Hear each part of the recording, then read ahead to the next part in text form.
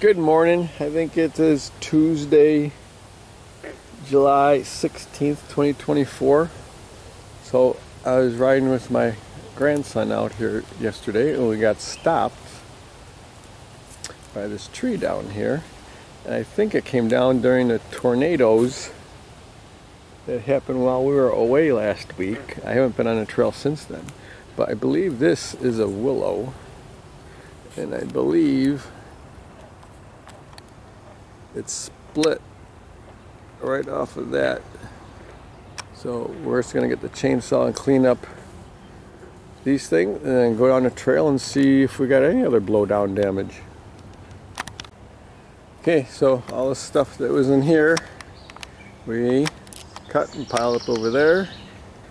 But you can see there's still stuff up, hanging up in the trees. Over in here, there's still stuff in here that's gonna impact trimming.